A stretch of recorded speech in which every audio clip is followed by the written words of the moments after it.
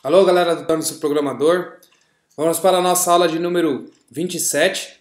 E nessa aula a gente vai falar sobre SQL, ok?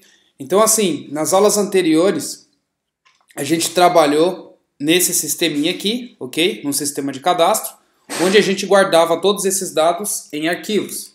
Então, eu vou abrir aqui o arquivo que eu guardava para vocês.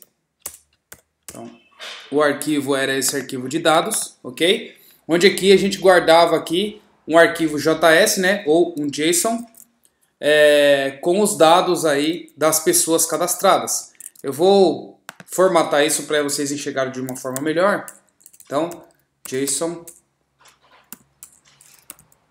opa, formatter, tem aqui um formatador, que se eu jogar aqui esse template do tipo que eu estou cadastrando lá, ele formata para mim e aí eu consigo mostrar para vocês de uma forma que fique uma visualização melhor, tá? Então assim, ó, como a gente cadastrou esses dados aqui, ele cadastrou lá três pessoas, ok? E essas três pessoas estão aqui cadastradas, que é o que eu gravei aqui no meu banco de dados, porém aqui está numa linha só, ok? E aqui eu deixei ele formatado. Deixar eu arrumar também a visualização. Tá aí. Então tá. Galera, esse aqui é o nosso banco de dados que eu mostrei para vocês até agora. Então, versionando isso num arquivo físico dentro do seu computador. Por quê? Porque quando eu derrubo a aplicação e subo de novo, a aplicação mantém os dados lá persistidos, ok? Tá. O conceito disso é mais complexo do que quando você coloca isso em um, um componente de banco de dados, tá? É, quando você grava em arquivo, você precisa fazer toda a lógica por trás daquele arquivo para você buscar, alterar, excluir alguma coisa.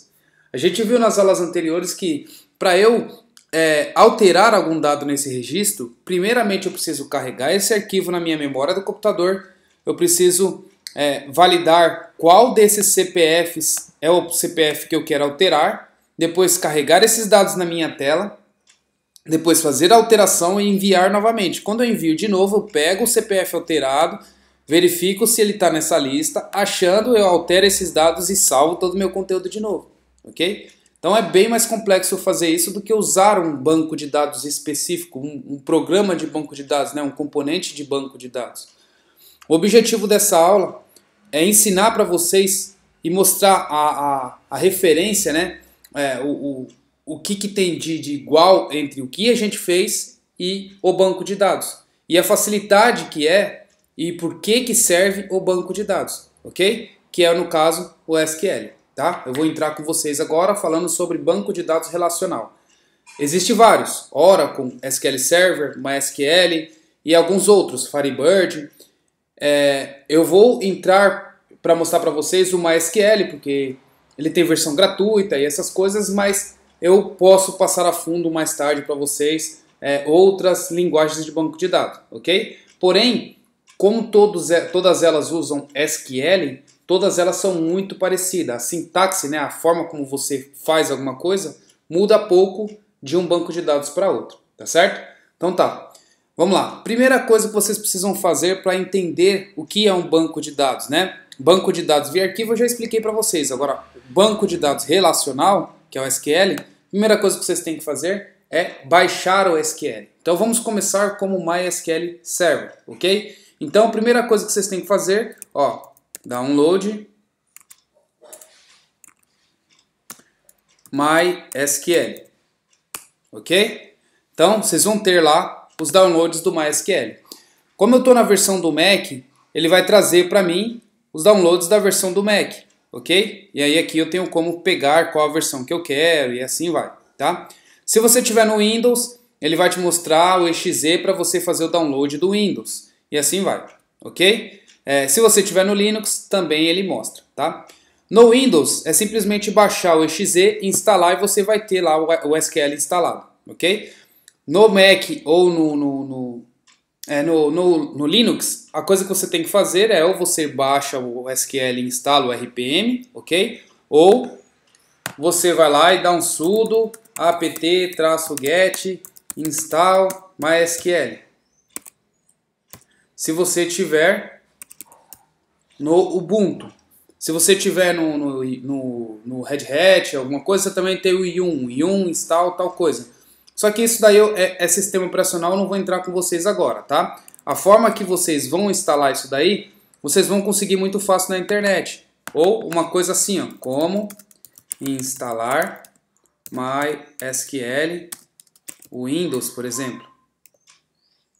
Se vocês digitarem isso no Google, vocês vão ter um guia aqui ó, de como que vocês podem fazer essa instalação, tá certo? Então, tem vários guias na internet que vai mostrar isso para vocês, tá? Legal. Agora eu quero saber no, no Mac, mesma coisa. Mac, ele vai mostrar para vocês, tá? E assim vai. O objetivo da aula não é ensinar vocês a instalarem hoje, tá? É ensinar vocês a usar. Então tá, vamos lá. Depois que vocês instalaram e configuraram o MySQL é, na máquina de vocês, a outra coisa que eu peço para vocês instalar e configurar é o MySQL Workbench, tá? Esse é um cliente do MySQL. Ele vai fazer com que você consiga visualizar o MySQL de uma forma mais clara, tá? Então, eu recomendo que vocês baixem esse cliente do MySQL, que é o SQL Workbench, tá? MySQL Workbench.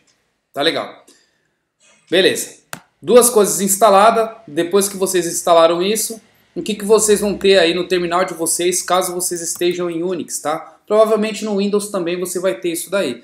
Mas vocês vão ter uma coisa chamada MySQL no comando de vocês. Então, ó, MySQL Server, MySQL, é, e assim vai, tá? MySQL dump, MySQL test, então você tem algumas coisas aqui do MySQL ou MySQL, é, depende da, da forma como você quer falar isso daí, tá? Mas é, no meu caso aqui eu vou dizer MySQL mesmo para ficar mais fácil aí, né? É, mais aportuguesado.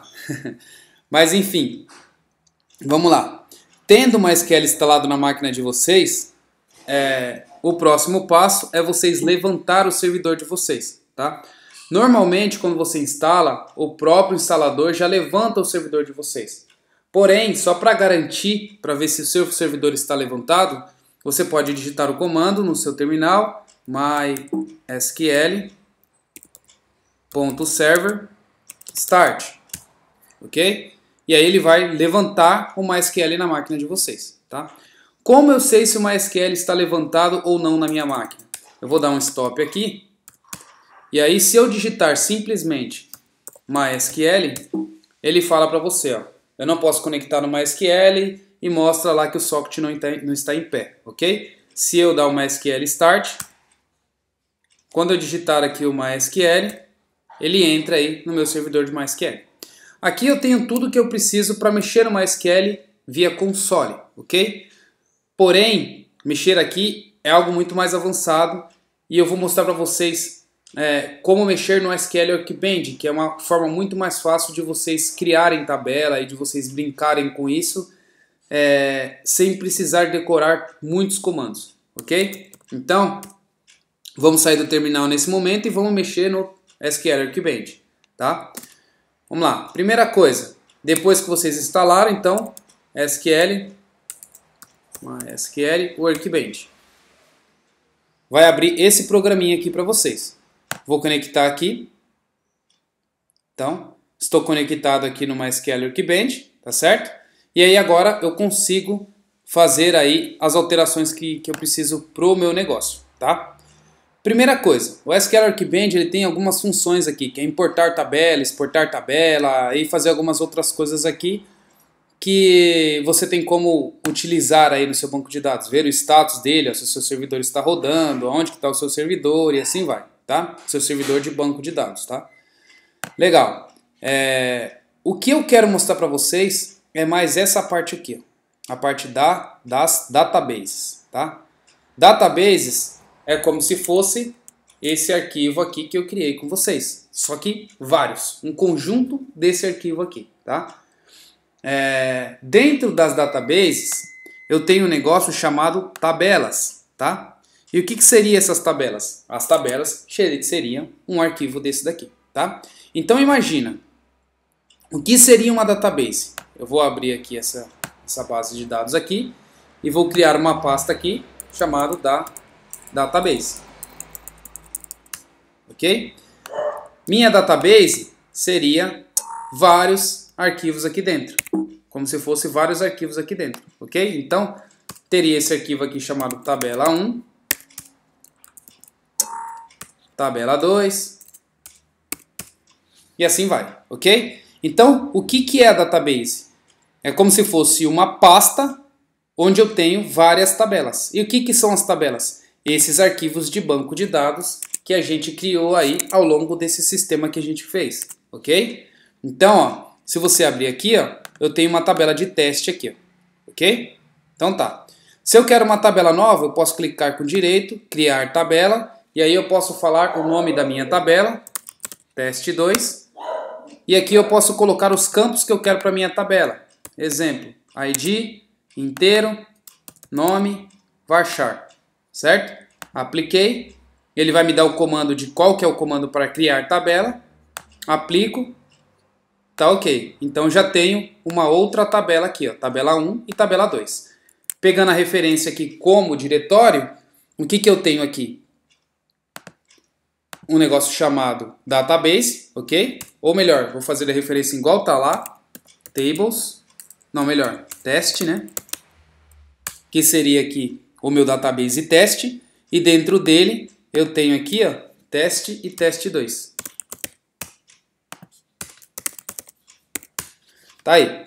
Então, essa é a referência que é parecido com o que está aqui, ok? Mostrando aí em tree, ele mostra teste, que seria a minha database, e os meus arquivos aqui dentro, que seria as minhas tabelas, ok? Então essa é a referência dos arquivos que a gente fez com uma database ali, né? Tá, vamos lá. Se a gente pensa assim, então, pensa no seguinte, a gente teve que fazer ali bastante trabalho para gerar esse banco de dados aqui, certo? Que é o banco arquivos que a gente gerou.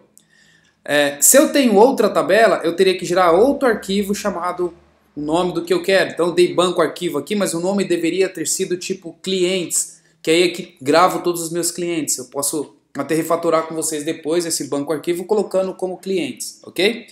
E aí você poderia ter, por exemplo, endereços. E aí você teria uma outra tabela aqui chamado endereços que vincula com cliente e aí teria todos os dados do endereço do cliente. E assim vai, ok? A mesma coisa de referência com essas tabelas aqui. Então, lembrando, banco de dados seria um diretório, tabelas seria os arquivos, ok? Agora vamos para as colunas. O que, que são as colunas aqui?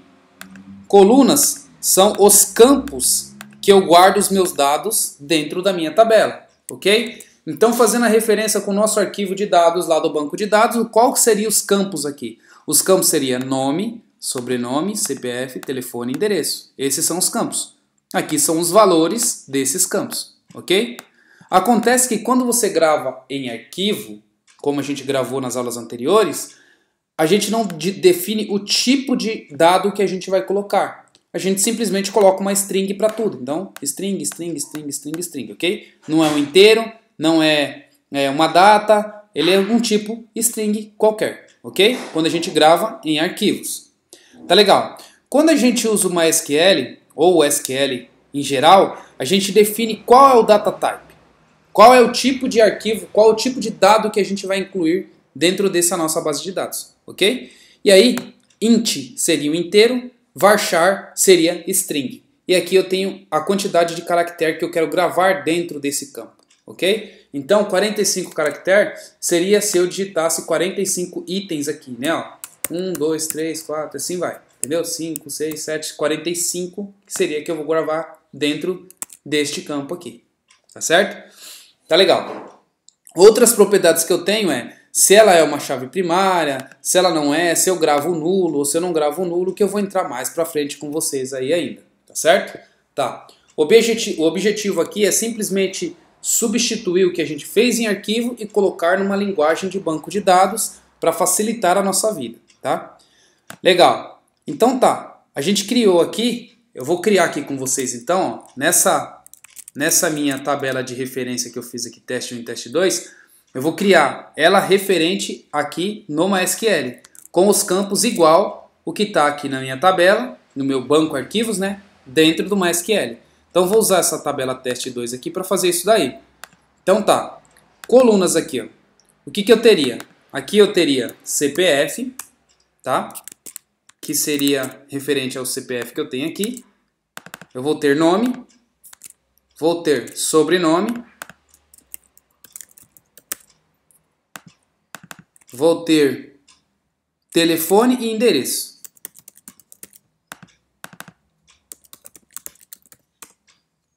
Tá legal. Então eu tenho todos esses dados aqui na minha tabela. Vou aplicar aqui. Ele vai me mostrar o comando referente que eu posso fazer. Se eu fosse utilizar o console, gente, que é utilizar o console que eu estou usando aqui, ao invés de eu dar um aplicar e ele me mostrar o comando, eu teria que justamente fazer esse comando aqui na mão. Eu teria que decorar esse comando para colocar lá no meu console. Por isso o SQL Workbench é bom nesse caso. Porque a gente tem como fazer tudo visual sem precisar decorar esses comandos, ok? Então, aplicar, tá ok. Então fiz as mudanças, agora eu tenho essas colunas aqui, que é igual às colunas que eu tenho lá no meu banco de arquivos, tá? Então, eu tenho aqui CPF, nome, é, sobrenome, telefone, endereço, que é os mesmos campos que eu tenho no meu banco arquivos, tá? Legal.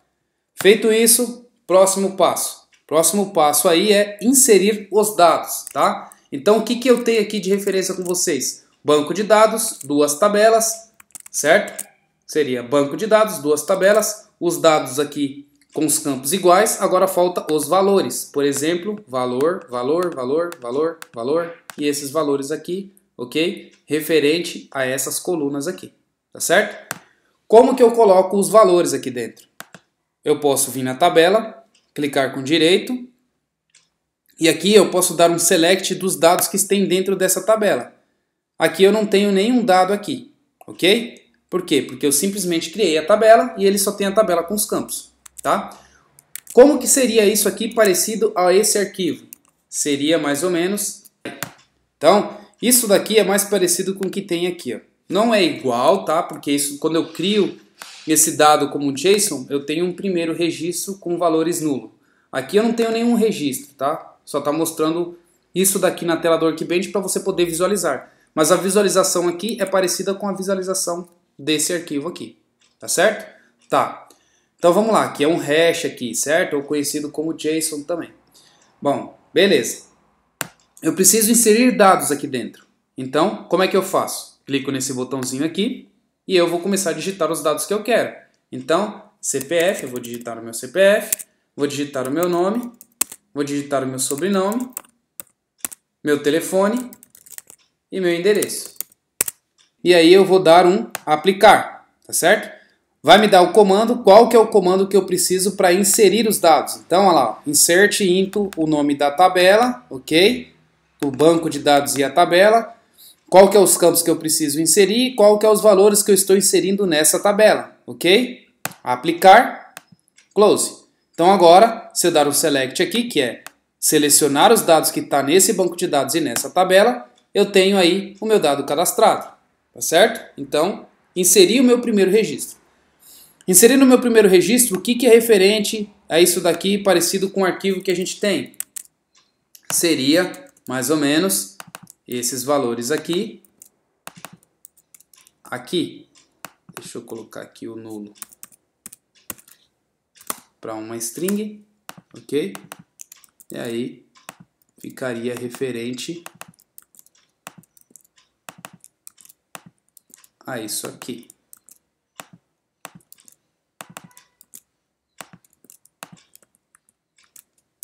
Tá aí. Então, Agora eu tenho isso aqui que é parecido com isso daqui, ok? Que é um registro gravado em arquivo e um registro gravado no banco de dados, tá? Tá legal. A diferença aqui, que é onde o SQL é, ajuda a gente e o arquivo não, é o que? Quando eu uso o SQL, eu tenho alguns comandos específicos. Ele me dá alguns poderes que facilitam para mim na busca dos dados, ok? Quando eu tenho um arquivo, eu tenho que construir a busca dos dados, ok? Então eu quero selecionar tudo no meu banco de dados que tenha esse CPF aqui. Como que eu faria isso nas aulas anteriores, como eu fiz com vocês? Eu teria que fazer o seguinte, Isso aqui eu teria que carregar dentro de um arquivo, então, sei lá, um arquivo teste, por exemplo. E aí eu teria que fazer um, um for each disso daqui, ok? Então for de i igual a zero, por exemplo, i menor do que esse banco aqui, ó, tá? Ponto length, opa, ponto length, ponto e vírgula, e mais mais, e aí eu teria que fazer o seguinte, aqui dentro if se o teste de i ponto CPF for igual igual a esse CPF que eu estou procurando aqui, então eu crio uma variável aqui em cima, dado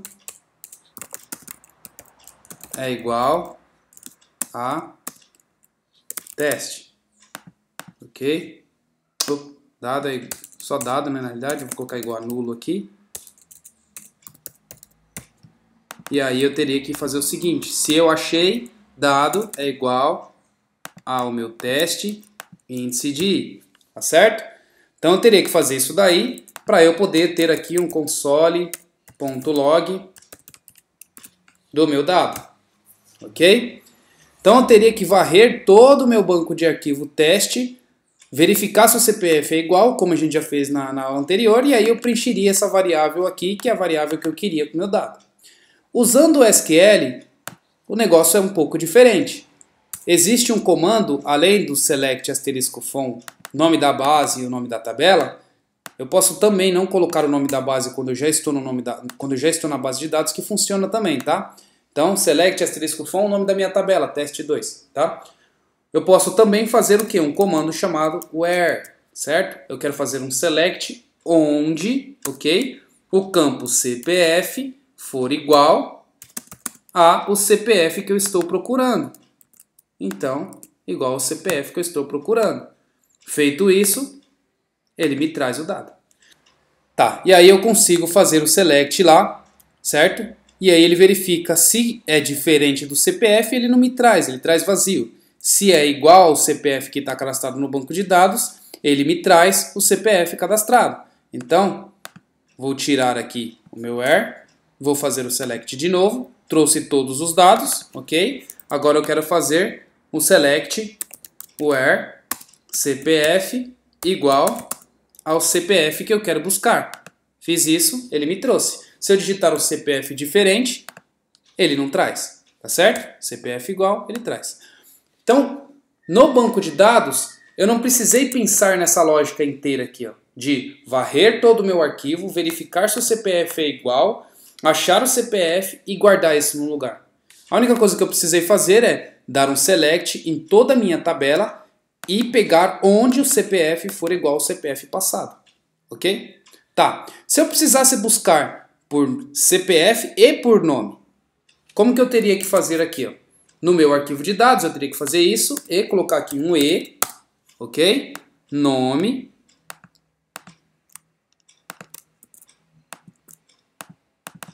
nome é igual a Danilo, ok? Feito isso, eu consigo buscar o meu banco de arquivos e aí buscar o que é CPF e o nome igual ao nome que eu digitei, ok?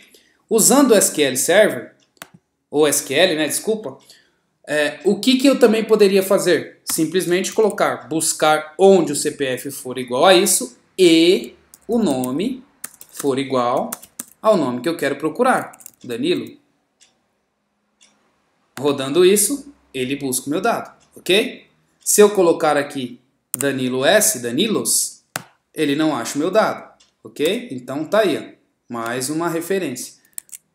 Se eu tivesse que programar isso, eu faria muito mais código, tá certo? Aqui simplesmente eu dou um end alguma coisa. Então, eu quero algum dado que tenha o CPF igual a esse e o nome igual a esse, tá? Se eu quero buscar um ou o outro, eu posso buscar selecione, select asterisco from, ok? Selecione todos os campos da tabela tal, onde o CPF seja igual a isso e não, and não, agora que seria ou, né? Então, or nome igual a Danilo. Então eu busco o que o CPF for igual a isso ou que o nome for igual a Danilo, ok? Fazendo a busca, ele me traz os meus dados, ok? É, se eu não, se eu mudar os meus dados aqui, eu falar é o seguinte, ó, eu quero buscar aqui DD Nilo, o que que acontece? Quando eu buscar aqui, ó, ele também vai achar o meu dado. Por quê? Porque o meu CPF é igual ao CPF que está no meu arquivo. Então eu falei um ou outro. Eu achei o CPF, eu, eu trago. Se eu achei o nome, eu trago. No caso aqui eu não achei o nome, mas eu achei o CPF, então trouxe o meu dado. Tá certo? Então, select aqui. Tá legal? Vamos lá. Fazendo via arquivo, como que eu teria que fazer? Teria que tirar o E aqui e mudar o operador para OU. Tá certo? Então, eu busco aqui o meu if isso ou isso, tá certo? Lembrando que aqui eu tive que fazer muito mais código do que simplesmente usando o SQL, tá? Legal. Se eu quero buscar por parte do nome, tá? Como que eu faria aqui para buscar por parte do nome? Buscar por parte do nome, a gente viu lá no, na programação que a gente fez, que a gente pode usar o comandinho chamado indexOf. Então o que, que a gente fazia aqui? Ó? Off, e aí a gente falava a parte do texto que a gente queria. No caso aqui, ó, Dani, certo? Aí ele vai buscar tudo que tem Dani no nome. Achou Dani aqui, ó, ele trouxe e mostra os dados. A gente utilizou o index off e também utilizou a regex. Então, vamos falar primeiro sobre o index off. Então, o que a gente fez aqui? Ó? Diferente, certo? De menos 1. Então, eu expliquei para vocês nas aulas anteriores que quando eu uso o index of, ele me traz o índice da onde eu achei o dado na minha string, tá certo? Se ele retornar menos 1, quer dizer que ele não achou esse dado. Se ele retornar 1, 2, 3, ele achou o índice da string que você está procurando dentro daquele string grande, tá certo? Tá. Feito isso, então eu busco por parte do arquivo, porém não com a parte de sensitive case, que também eu expliquei para vocês nas aulas de busca entre arquivos, ok? Tá. Como eu não estou eh, ignorando sensitive case, eu simplesmente vou buscar o que esteja com match exato aqui, ok? Se tiver com D maiúsculo aqui, ó, ele não iria buscar, tá certo? Então eu teria que fazer essa programação aqui para buscar no meu banco de arquivo. Lá no SQL, a única coisa que eu tenho que fazer aqui é colocar like. Então, ó, selecione todos os dados dessa tabela onde like seja igual, certo? Ou parecido, né? Like Danilo, e aí eu coloco aqui, ó, essa expressão aqui. Ó. O que, que é essa expressão, porcentagem em porcentagem? Isso daqui quer dizer o seguinte, eu quero que busque parte do meu arquivo em todo o lugar, né, parte do meu texto em todo o lugar do meu nome, em todo lugar do meu nome eu quero que busque esse essa string chamada Danilo, ok? Então ele busca lá Danilo, ele busca, se eu digitar aqui DA, ele busca se eu digitar Dan, busca se eu digitar Dani, ou busca também se eu digitar Nilo, ok? Porque ele vai buscar dentro de Danilo parte disso daqui, que é a mesma coisa do index of aqui, tá certo? Tá. A diferença daqui também é, eu posso buscar com maiúsculo, que ele já entende o sensitive case para você. Tá vendo? Então eu busquei aqui, ó, Nilo com i maiúsculo, tá certo? E aí ele já fala para você, ó, eu consigo entender porque eu, eu, eu não sou sensitive case. Então eu consigo buscar esse dado para você, independente de como você está buscando. Você tem como alterar a sua query para você buscar com sensitive case, mas por padrão ele já faz isso para você. Então você já tem mais um ganho aí utilizando o banco de dados. Sem utilizar banco de dados, se você fizer isso daqui, ó, que é, por exemplo, buscar Danilo com D maiúsculo, ele não vai achar porque ele não vai encontrar Danilo aqui porque está tudo minúsculo. Então o que, que você teria que fazer na sua programação? Você teria que vir aqui e colocar um ponto é, to lower case, ok? Que aí você colocaria tudo em minúsculo e aí você buscaria tudo para minúsculo, tá certo? Então, se esse D aqui tivesse maiúsculo, com to lowercase, ele ia ficar tudo minúsculo e você ia conseguir fazer a comparação aqui usando index of, ficando ali, ignorando o sensitive case, tá certo? Ou a outra forma que você poderia fazer é como a gente fez aqui no nosso controller, tá certo? Então vou mostrar para vocês aqui no controller, uh, rota, index, e aqui ó, não, tá no modelo. Aqui no nosso modelo, a gente fez uma busca aqui por pessoa, e aí a gente usou a regex, que é esse caso aqui, ó. O que, que a gente fez aqui, ó? Nas aulas anteriores eu mostrei isso para vocês também. A gente cria uma regex e coloca o i aqui, para ele ignorar o sensitive case, tá certo? Então, a gente faz uma busca através de uma expressão e aí a gente tenta localizar o match dessa expressão que a gente achou. Se ele achar alguma coisa, ele retorna diferente de nulo, buscando ali, ignorando o sensitive case, tá certo? Isso que eu expliquei para vocês na aula de busca entre arquivos também, ok? Para quem não viu essa aula, é essa aula aqui, tá gente? Ó, pesquisando em arquivos, tá certo? Aula de número 24, tá legal? Bom, então também posso usar o match ou posso fazer isso daqui que eu acabei de fazer, que é dar um lowercase para buscar esse dado se eu estivesse buscando via banco de arquivos, tá? Como eu não vou buscar via banco de arquivos, eu vou buscar via SQL para facilitar a minha vida, eu uso um nome like alguma coisa, tá? Tá. Se eu quisesse buscar então todo nome que começasse com D, aí o bicho pega quando você está programando isso, tá? Porque se você está programando isso, eu quero todo nome que comece com D. Então seria todo o meu banco de dados, por exemplo, vou cadastrar aqui mais alguns dados aqui, ó, vírgula, vírgula. Então, cadastrei três dados aqui no meu banco de arquivos, tá? E aí aqui eu vou chamar de Fernando e aqui eu vou chamar de uh, Sara, ok? Então, criei esses três dados aqui, tá? Só para facilitar, eu vou criar esses três dados aqui também. Então, Fernando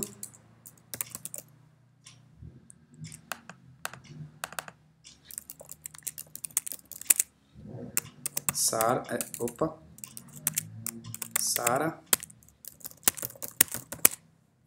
Vou aplicar aqui também, então, dois inserts, tá aplicado. Só que o meu select aqui eu estou buscando somente Danilo, né?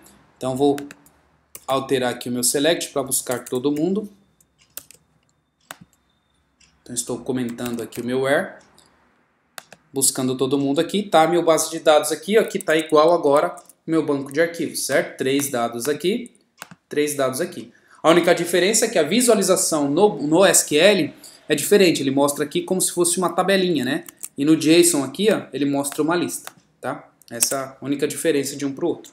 Tá, então vamos lá. Eu preciso buscar tudo que comece com D, por exemplo, tá? Então, o que, que eu faria aqui, ó? Select asterisco from, a minha tabela where, nome like, aí aqui, ó, eu quero que seja tudo igual, mas que tenha o D no começo, tá certo? Então é assim que eu faria aqui no SQL. Eu coloco o D e isso daqui. Esse porcentagem é como se fosse daqui para frente, ok? Daqui tudo que vai ter para frente. Então eu começo com D e o resto pode vir à vontade, tá certo? Fiz isso, ele me traz ali somente o Danilo. Se eu quisesse tudo que acaba com D, eu colocaria ao contrário. Então, qualquer coisa, mas que acabe com D. No meu caso, não tenho nenhum no meu banco de dados, tá certo? Então, ele não trouxe nada. Então, tudo que começa com D, ele busca aqui para mim só o que começa com D. Se eu tivesse que programar isso, ficaria muito, muito, muito mais complicado. Por quê? Porque eu teria que fazer o seguinte, varrer o meu banco de dados e também fazer o quê? Colocar o lowercase, porque eu quero ignorar o sensitive case, porque aqui eu busco com D minúsculo ou D maiúsculo, tá vendo? E ele me traz os meus dados. Então, ignorar o sensitive case e também teria que fazer um negócio que é o que?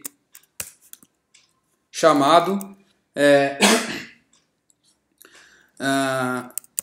substring. Ok? E aí no meu substring eu consigo falar quantos caracteres eu quero, qual a posição que eu quero e de quantos caracteres eu quero, tá? Eu quero a posição 1, certo? de um caractere. Então, quando eu faço isso, ele me retorna uma posição de um negócio. E aí eu tenho que falar se isso daqui é igual a a letra que eu quero buscar, o meu D. Tá certo?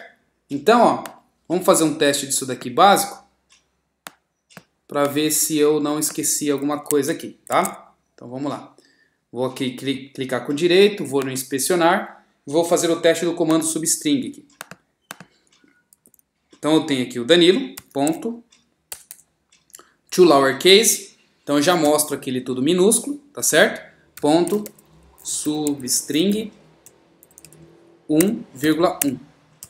Aí ele me trouxe, não, tá errado aqui, então deixa eu ver, é 0,1, isso, não, então tá, é 0,1, porque aqui começa com 0 aí, né? É a mesma coisa do array, então posição 0, 1, 2, 3, 4, 5 e assim vai, tá? Então tá, eu trouxe um item da minha posição 0, aí me trouxe o D, certo? Então o que eu teria que lembrar do meu comando chamado ponto .to lowercase para transformar isso daqui em minúsculo, lembrar do meu substring, pegar da posição 0 do início disso daqui, então 0, 1, 2, 3, assim vai. Então pego o 0, depois eu comparo com a letra que eu quero buscar tá certo? Fica muito mais complicado eu fazer isso daqui. Por isso, o banco de dados. Então eu uso aqui ó, o like com D, ok? No início, ou o like com D no final, ok? Se eu tivesse que buscar no final, programando, a história também seria mais complexa ainda. Por quê? Porque eu teria que saber quantos caracteres eu tenho aqui. No meu caso aqui, fixo, eu sei que tem 1, 2, 3, 4, 5, 6, ok? 6 caracteres. Então, o que, que eu teria que fazer aqui, gente? Ó, falar, eu quero a posição 5 e 6. Então, eu pegaria somente o O aqui, ó. Tá vendo? Muito mais complexo, porque eu tenho que fazer uma conta matemática para descobrir qual que é o último elemento. Porém, isso daqui só serve para esse nome Danilo. Se eu fizesse um outro nome, por exemplo, Fernando, não iria dar certo. Então o que eu teria que fazer? Contar a quantidade de caractere que eu tenho nesse elemento. Então isso aqui, ponto length. Aí eu sei a quantidade e aí eu teria que fazer o seguinte: o meu substring para eu buscar o meu último item é o Danilo com a quantidade dele menos 1, ok? E o Danilo com a quantidade dele aí eu conseguiria fazer isso aqui para pegar o último, o último caractere lá. E isso aqui serviria para Danilo, serviria para Fernando, por exemplo, ou serviria para qualquer outro aqui. Ah tá, desculpa que aqui eu coloquei Fernando, mas não coloquei Fernando nos outros dois aqui, né? Então serviria para Fernando também, tá vendo? Serviria para qualquer outro nome. Porém, gente, eu teria que pegar esse tamanho desse código aqui e colocar isso aqui, tá certo? Virando um negócio tipo meio monstruoso aqui, né?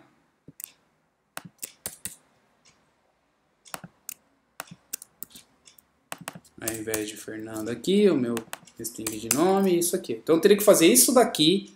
Olha o tamanho do código, tá? Para poder verificar qual que é o último caractere que eu tenho do nome. Aqui eu teria como fazer a busca. Então já está elegível, tá? Já está elegível. Por isso que eu digo para vocês, vamos ao SQL. É por isso que existe o SQL. Então por isso que o SQL facilita a vida para vocês. Tá? Então o objetivo aqui não é, é falar para vocês que o SQL é muito bom, que o SQL é a melhor coisa do mundo, mas o objetivo simples é toda ferramenta a mais que é criada, ela tem um propósito. E o propósito é de ajudar a gente, fazer a nossa vida ficar mais fácil. O SQL é uma delas, por isso que quando alguém faz algum sistema, ele simplesmente não fica guardando em arquivos, porque a busca dentro desses arquivos é muito mais difícil do que se você usar um banco de dados SQL ou banco de dados orientado a documento que tem essa facilidade de fazer buscas ali, né? Alguém já construiu essa parte de buscas sozinho e você não tem que fazer essa lógica inteira você no seu próprio sistema, tá? Então, é, quando eu tenho que incluir também algum arquivo ou é, algum dado, vocês viram lá que eu pego, adiciono um dado aqui dentro desse JSON e mando ele salvar no banco de dados. O incluir aqui é muito mais fácil. O incluir você tem um comando chamado insert que você consegue incluir. O alterar, no caso aqui eu teria que selecionar, né, buscar esse dado, alterar. No caso do SQL eu só tenho um update. E o delete eu teria que remover o arquivo daqui, reconstruir ele, salvar ele novamente. E aqui no SQL eu tenho o comando delete, tá? Então tá. Esse que eu mostrei hoje para vocês é o comando select, para que, que serve ele ali, né? É, então eu tenho como buscar via like, tenho como buscar via match exato, né? Então que é igual ao nome que eu quero, ok? Tenho como buscar ali com where, né? Que é, não, com, com end, né? Então tipo esse número e o CPF igual a um CPF que eu quero, no caso aqui um CPF igual a branco, ele não vai trazer nenhum registro, porque não tem CPF branco e nome Danilo, tá? Ou selecionar todo mundo sem a cláusula where, que ele traz tudo que está lá no banco de dados, tá? Então, esse é o select aí que a gente utiliza para um banco de dados, tá? A gente tem uma infinidade de coisas aqui que a gente pode utilizar que o SQL já traz ali já pronto para você, tá? É, eu vou mostrando para vocês conforme o tempo. Como é muita coisa, a aula é muito extensa sobre o SQL. Então hoje o objetivo é simplesmente mostrar para vocês o que, que é um select, que é como você seleciona algum dado, como você insere algum dado, como que você deleta algum dado, como que você altera algum dado. Então, comandos básicos aí do SQL para você colocar isso no seu sistema. Para a gente alterar o nosso sistema e tirar de banco de arquivos na próxima aula e colocar como SQL, tá? Então tá, esse comando select é o primeiro que eu mostrei para vocês. O segundo é como inserir dados nessa tabela. Tá? A gente sabe aqui que a forma fácil de inserir dado é utilizando o Workbench, porém você precisa saber o comando para colocar o comando no seu sistema. Tá? Então aqui, ó, se eu clicar aqui em adicionar e digitar algum dado aqui, ele vai dar um comando. Esse comando que a gente vai estudar agora. Tá? aplicar. Esse é o comando que eu quero explicar para vocês. Então vamos lá. Ao invés de usar esse aplicar, eu vou ignorar isso daqui, tá? E vou usar esse comando, tá? Então vamos lá. Insert into o nome do banco de dados, o nome da tabela e os campos que eu quero inserir, tá? Então aqui, ó, insere dentro dessa database, dessa base de dados, nesses campos aqui, ó, CPF, nome, sobrenome, telefone, os valores seguindo de acordo com as colunas que você colocou. Então, CPF, ok? Nome, sobrenome, telefone, ok? Então, eu estou mandando inserir os dados aqui, tá? Ah, o endereço eu não coloquei, então vou dar um vírgula aqui, ó. E já vou colocar também o endereço. Endereço. E aqui, o valor do endereço rua teste. Ok? Então tá aí, ó. Esse é o comando para inserir alguma coisa dentro do banco de dados, tá? Então, aplicar o comando, tá aí. Comando aplicado, tá certo? Rua teste, tá aqui, ó. Incluir o meu dado, tá certo? Então, esse é um comando que serve para incluir um dado lá no banco de dados, tá? Então eu quero incluir mais um dado. Vou incluir aqui. Agora eu quero incluir só o CPF e o nome, o sobrenome e o telefone e o endereço eu não quero incluir. O que, que eu posso fazer? Insert into a tabela que você quer, certo? O campo, os campos que você quer e os valores que você quer, ok? Então, aqui um valor novo. É, vamos colocar aqui, esse dia aqui. Novo registro, ok? Inserir. Agora vou dar um select aqui. Tá aí. Novo registro, certo? E com os outros dados nulo, porque eu não preenchi os outros campos. Tá certo? Então tá aí. Ok. Então esse é um comando para a gente inserir alguma coisa no banco de dados. Tá? Agora para a gente alterar alguma coisa no banco de dados, como é que a gente faz?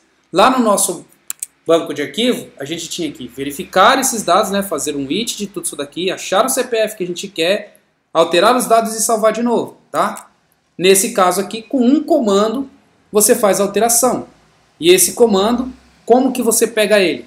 Você pode simplesmente dar o seu select aqui e alterar, por exemplo, esse dado aqui. Ó. Eu quero alterar o sobrenome. Vou colocar o sobrenome aqui. Vai aparecer para vocês o botão aplicar. Você vai clicar no botão aplicar e vai te mostrar o comando. Então, pega o comando, e vamos estudar esse comando aqui. Para que, que serve esse comando? Então tá, vamos lá. Comando update. Para alterar algum dado, a gente precisa fazer o seguinte: update esse banco de dados com essa tabela, setando o campo igual ao valor que eu quero. Where o CPF igual ao CPF que eu quero, tá? Então aqui a diferença do update é que aqui você também faz a seleção, onde o CPF seja igual a essa pessoa, tá? Do select a gente faz lá o where também e no update a gente também faz o where, tá certo? Então, quando a gente vai fazer um update, a gente precisa falar qual registro que a gente quer fazer o update. Por isso, a gente coloca o where. Se a gente não colocasse o where, o que, que ia acontecer? Ele ia alterar todo mundo, todos os sobrenomes para teste. Tá? Então, muito cuidado com isso. Quando você vai fazer alguma alteração dentro do seu banco de arquivos, no, do seu banco de dados, o que, que você tem que fazer? O update, o nome da tabela, os campos que você quer alterar, o where, o registro que você quer alterar. Certo? Ah, eu quero saber o registro específico. Então, antes de você fazer o update, qual que é o recomendável que você pode fazer? Um select, where, aquele elemento que você quer. E aí você vê, se ele trouxe o registro, então tá, é esse que eu quero alterar. Eu quero alterar o sobrenome e o telefone, por exemplo. Então o que, que eu posso fazer? No meu update, eu estou alterando aqui o sobrenome, eu quero também alterar o telefone. Vírgula, certo? Aqui eu vou colocar telefone ok? Opa. E vou colocar o telefone aqui como tan tan tan, traço, papapá, tá? Coloquei aqui o telefone desse jeito. Feito isso, eu sei que agora o meu where me retorna alguma coisa, porque no meu select aqui eu coloquei o where e ele me retorna o registro que eu quero. Então agora eu posso rodar o meu update, tá certo? Update, o nome da minha, do meu banco de dados, com a minha tabela, set, o nome do meu campo, com o nome do meu valor, vírgula, o nome do outro campo, com outro valor, where, o que eu quero tá certo? Rodando aqui o meu comando, ele faz a alteração para mim, fazendo o select novamente, ele me mostra lá o que eu alterei. Então, nome, o endereço, registro, sobrenome, tudo bonitinho, funcionando, tá certo? Então, mais uma coisa legal aí para o nosso SQL, tá legal? Tá. Beleza. Então, a gente já viu como alterar o dado. Então, agora mostrando para vocês, ó, se eu simplesmente não colocar o where, o que, que vai acontecer? Eu vou alterar todo mundo para teste. Então, eu vou comentar isso daqui. Certo? E aí, ó, no meu select aqui, ó, de todo mundo, eu tenho aí sobrenomes diferentes, ok? Só que agora, se eu rodar esse update sem a minha cláusula where, eu não seleciono ninguém, então mando fazer um update para todo mundo, alterando o sobrenome de todo mundo para teste. O SQL Band ele já te ajuda com isso, tá? Ele já vem bloqueado para não deixar você fazer o update, porque ele sabe que se você fizer isso, você vai alterar todos os seus dados da sua registro. Então é um comando bem complexo, né? Bem, bem é, complicado que você pode apagar toda a sua base de dados ou alterar tudo ela sem você querer. Certo? Então, por você ter que tomar cuidado, o SQL Archibald bloqueia isso para você. Então, quando você tenta rodar um comando desse tipo, ele te dá um erro falando, ó, você está usando o save mode lá no seu no seu SQL. Então, por você estar usando o seu save mode, eu não deixo fazer alteração de todos os registros desse jeito. Então, ele deu um erro aqui, ó, mostrando que é para você tomar cuidado e não fazer isso, tá certo?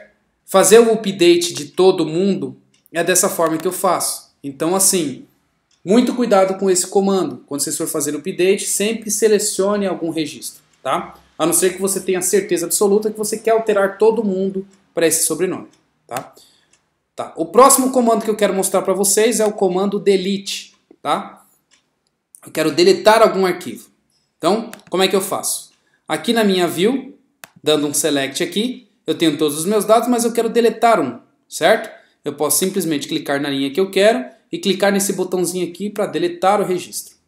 Depois, quando eu for aplicar, ele vai mostrar qual que é o comando que vai acontecer para eu aplicar, certo?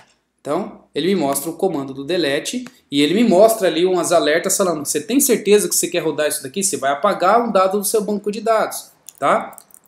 Eu vou copiar isso daqui e vou executar aqui com vocês o delete?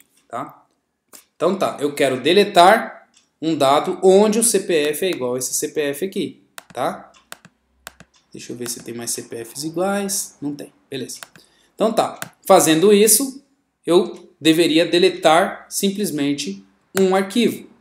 Então tá aí, ó, uma linha afetada, deletei um arquivo, certo?